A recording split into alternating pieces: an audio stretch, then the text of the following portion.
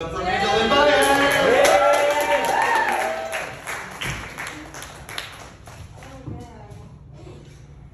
everyone. What's up? You look just like my friend Emily. I was gonna be like, hey Emily, and you weren't Emily. So I'm glad I didn't do that. yeah, um, I started a new job on Friday. My first, no. um, I mean, yeah, jobs I guess should be amazing, but I can't do the Monday through Friday thing. I'm sorry. I, I've been freelancing the last three and a half years, and in this economy, bitch. I, I needed a full time job. I, I needed it. Um, but I work in film production. It's it's okay. It's I mean it can be fun. Um, it's just a lot of don't. Try working with Nick Cannon. He's asking for a bottle of ranch every day. weird rich people ask for weird shit. Like and he's every day just handing a ranch bottle to a PA. Which, you know what I mean? It's like what you're wasting plastic, my man. um, anyway. Uh, yeah, just yeah, having a full-time job sucks. But um, you know, the holidays are coming, so I need the money. And you know, we're like low-key in a recession. that everyone's talking about. But I will on the microphone. Um, uh, but yeah, I, I um, a nice transition, whatever. I just had a show uh, in LA. I was in LA for the first time. Different, very different from New York. My family's from here. Um, but yeah, out there I had a show, and it was sponsored by like some weed company, shirt company. And so they, you know, obviously paid me in drugs.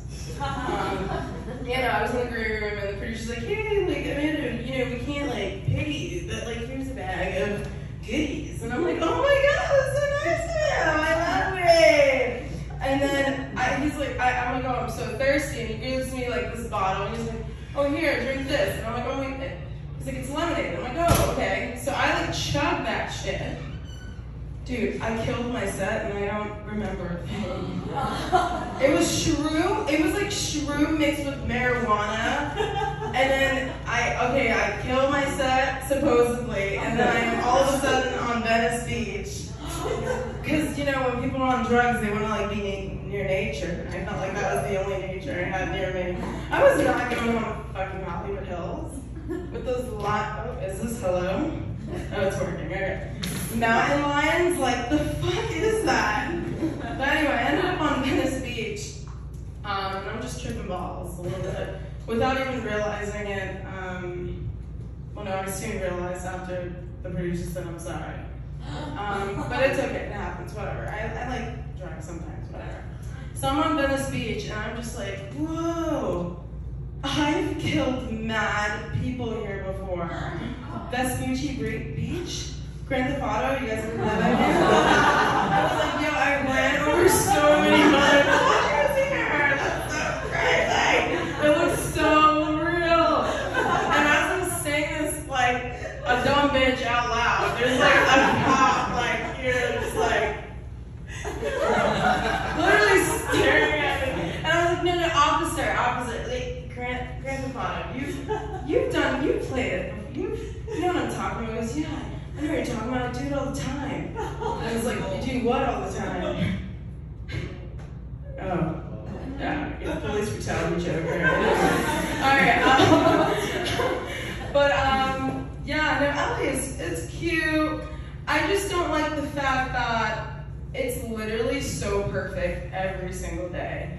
Like when your friends plan something, an event, you, it's it's never gonna be ruined, like ever. And there's you know days where I just don't want to go out, but I agree to go out, and then it's raining, and then my friends are just like, I don't feel like going anymore, and I'm like, oh, fucking god, thank God, like because I was already in my PJs, and I was gonna tell you I wasn't gonna go anyway. Um, but no, I love New York, and uh, like I mentioned, my family's here, my friends are here. I I, I love the you know, crackheads. Um, they're great. No, they're honestly so, like, I, I'm a weirdo. So I'm at the park. One just walks up to me, And I noticed he had a book bag of a school I went to. I was like, oh my god, I went there. And he goes, no way. He just starts talking. I'm like, did you go there? He goes, I don't know what the fuck it is. He's like, you know what book bag? Yeah. And then we're just having this conversation. I'm like, just analyzing this man. And no, he's cool. Yeah. I love homeless people. I wish I was rich and I could help them all, but I can't. Um, yeah, so New York is great. Uh, unfortunately, there's like a lot of crime rising um, on the subway, but bitch, I was raised by a Puerto Rican single mother. You know, like I've been taking the train since I was what, like eight? No, that's too young. Okay, like nine years old.